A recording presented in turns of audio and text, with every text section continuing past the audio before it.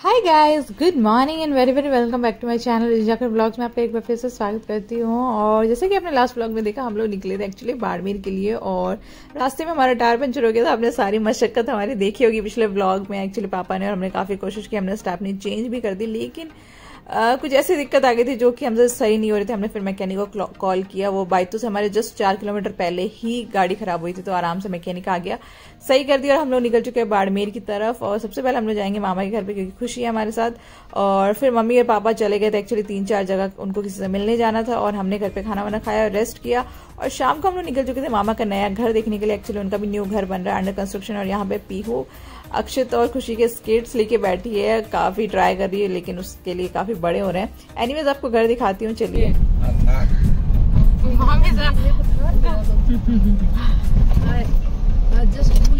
Hello guys good evening from Barmer. आपको मिलते हैं हम लोग बाड़मेर से फाइनली हम लोग पहुँच गए। बहुत सारी मुश्किलों के बाद। और अब हम जा रहे हैं मामा जी का घर देखने के लिए, जो कि अभी अंडर कंस्ट्रक्शन अभी बना नहीं है, बन रहा है। और इनका ही इन्हीं का ही ये जो आए थे अभी जोधपुर रिसेंटली आपने देखा होगा ब्लॉग्स में। इन्हीं का ही घर बन रहा है यहाँ पे तो आपको भी दिखाते हैं हम भी देखते हैं कितना बन गया क्या बन गया। तो हम लोग पहुँच चुके हैं घर मामा जी के और ये पता नहीं पास में क्या है। और घर है? दो घर है ये भी घर है और मामा का घर तो ये है जो कि अभी अंडर कंस्ट्रक्शन मामी सा। अरे हम लोग पहुँच चुके हैं मकान पे इनके और ये अभी अंडर कंस्ट्रक्शन है। और ये स्टेडियम वाली गली। पापा स्टेडियम वाली गली है। इनके खयो खयो रस्तों के। इनकम टैक्स बोल सको ना, हमें तो फ़िलहाल। अभी तो इनकम टैक्स है। ऑफ़िस तो यही है इसी गली में। पापा का ऑफ़िस भी इसी गली में, इनकम टैक्स वाला। और यहाँ पे ये कुछ कुछ डिस्कशन करते हुए, क्योंकि इन्होंने अभी रिसेंट दो घर बनाए हैं। ये बनवा रहे हैं।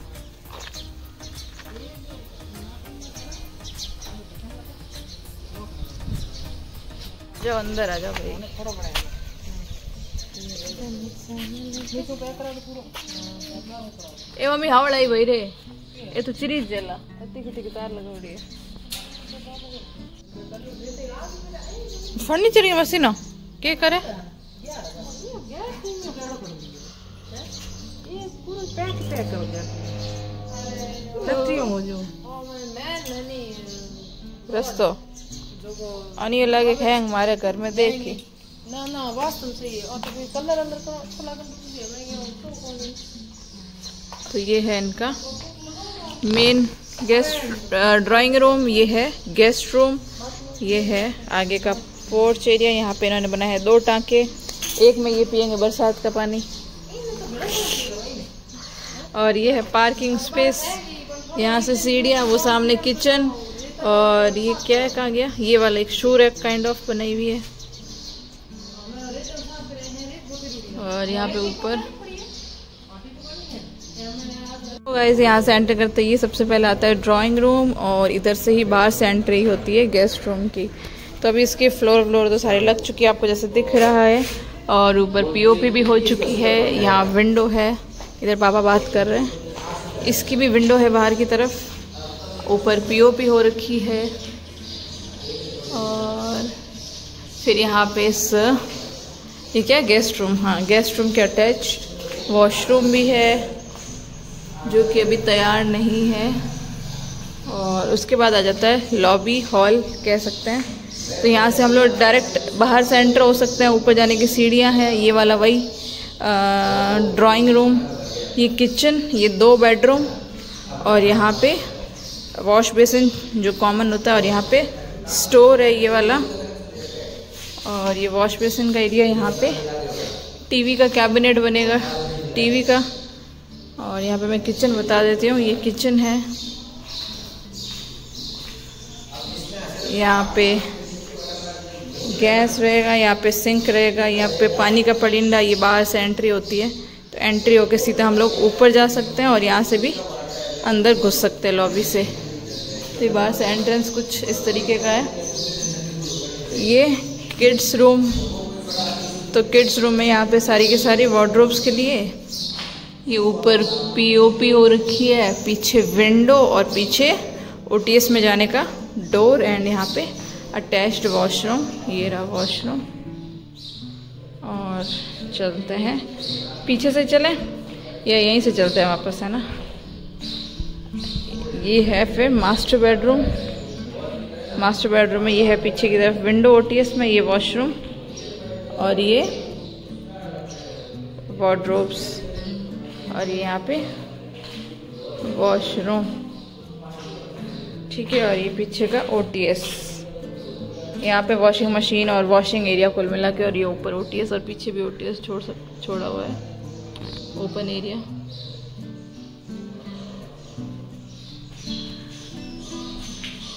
तो आइए चलते हैं अब ऊपर, सीधा।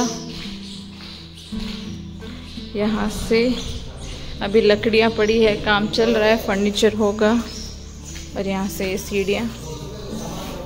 किचन किचन में खाना बनाते बनाते बाहर देखते जाओ। व्यू मिलता जाएगा आप। ये विंडो और ये आगे balcony.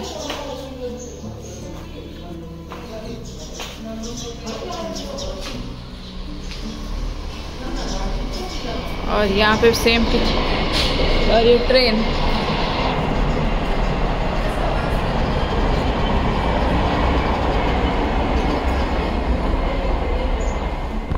same as it is kitchen same ऐसे ओ टी एस यहाँ वॉश बेसन नहीं आया क्योंकि यहाँ पे जाली आ गई. ये टीवी का, ये दोनों वैसे के वैसे बेडरूम्स सेम पीछे जाने का। अब यहाँ तो पीछे वॉश एरिया होगा नहीं तो वॉशिंग मशीन अंदर ही रखनी पड़ेगी।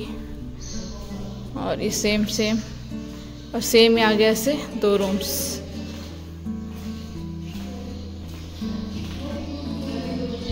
इसमें वॉशरूम और ये वही आगे वाले दो रूम और इसके आगे छोटी सी बालकनी आ गई। कॉमन बालकनी और इस घर में शादी है। लाइटें लग रही है।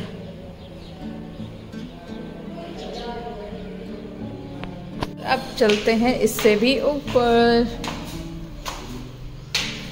यहाँ से आपको देंगे थोड़ा सा बाड़मेर का व्यू। आ चुके हैं ऊपर और ऊपर भी एक और रूम बनाया हुआ है इन्होंने।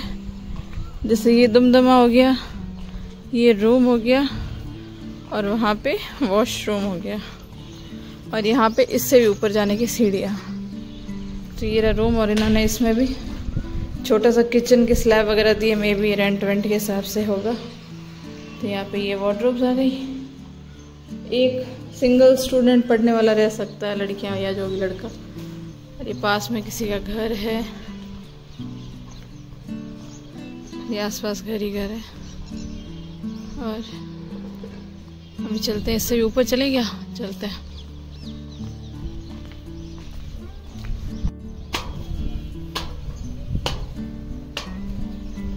सो so गाइज़ आ चुके हैं सबसे ऊपर और ये है यहाँ पे। क्या है, कुछ बीएसएफ एरिया है। ये ट्रेन की पटरी है आगे से। और ये है फ्लाई ओवर जैसलमेर की तरफ़ जाने वाला। और ये है महावीर नगर का कॉम्प्लेक्स इसका नाम तो मुझे नहीं पता। मैं भूल गई और मुझे तो याद नहीं है। और इधर इस टावर के पीछे की तरफ़ हमारा घर है। दिखेगा तो मैं बताऊँगी जूम करके। इसके पीछे अब क्या बहुत लंबे लंबे हाइट वाले घर बन चुके हैं। तो दिखेगा ही नहीं, दिखेगा, क्योंकि वैसे अभी ये भी तीन फ्लोर का, हमारा भी तीन फ्लोर का, लेकिन कुछ इसके जैसे एक, दो, तीन, चार और भाई पाँच, पता नहीं क्या ही बना रहा है ये तो। इतने इतने भी बन रहा है तो फिर तो घर दिखता ही नहीं है। और वो है शिव जी का मंदिर, वो है जोग माया का मंदिर, दुर्गा माँ का मंदिर, और क्या है, बस अब सनसेट होने वाला है, शाम होने वाली है। और ये शादी वाला घर लोग लाइटें लगा रहे हैं।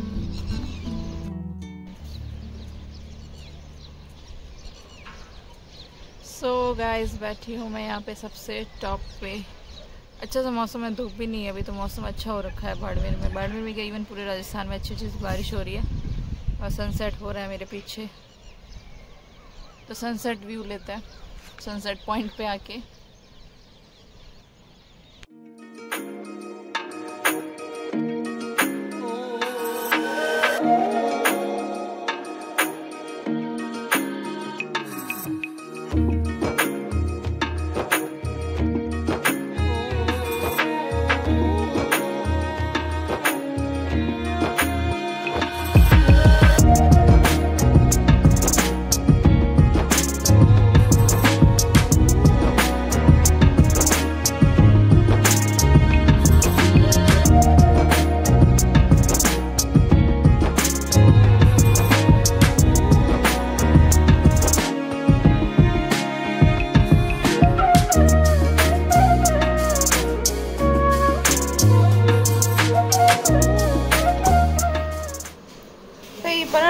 कचौरी कॉम्बिनेशन देखो। ए बड़े देगा नहीं। अब मेरे? हाँ।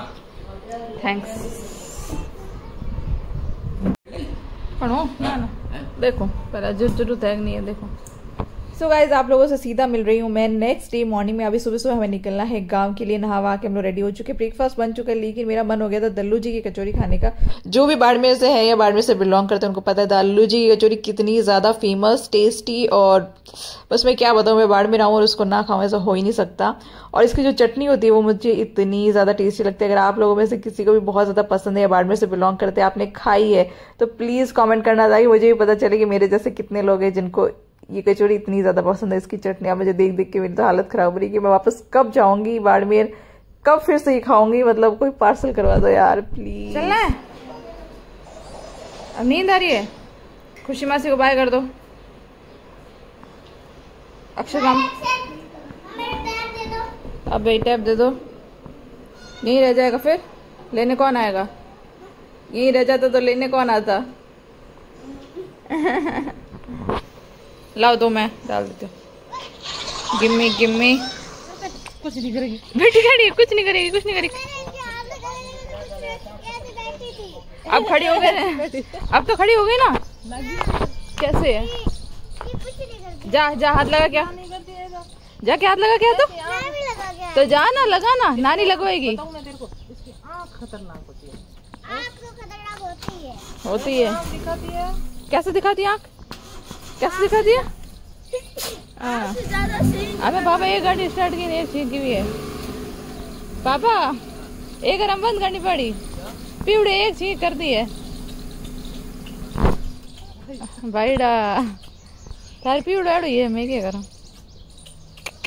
भगाना इसको भगाने का ये तरीका होता है तो भगाने का तरीका होता है। ये कहाँ से सीखा आपने? अरे इसने पूछ कैसे समेट लिया देखा?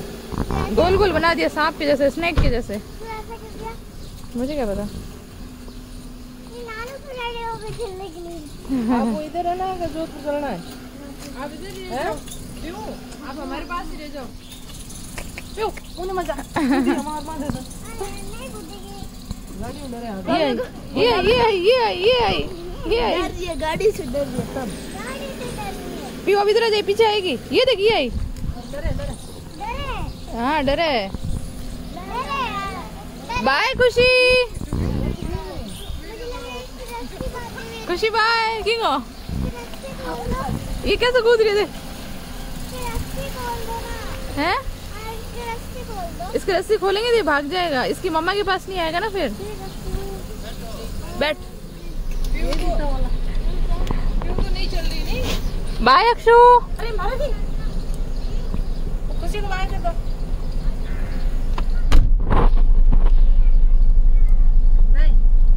ठीक है? सो गाइज़ इस व्लॉग में बस इतना ही। छोटी सी जर्नी थी, शाम को आए थे और अगले दिन सुबह निकल गए। एनी एनीवेज इन सबसे तो मिल चुके थे, लेकिन अभी चलते हैं अपने गाँव की तरफ़। ये व्लॉग अच्छा लगे तो लाइक कर देना कमेंट कर देना शेयर कर देना। चैनल पर नए हैं तो चैनल को सब्सक्राइब कर देना। और गाँव मेरा बाड़मेर से जस्ट पच्चीस किलोमीटर दूर है।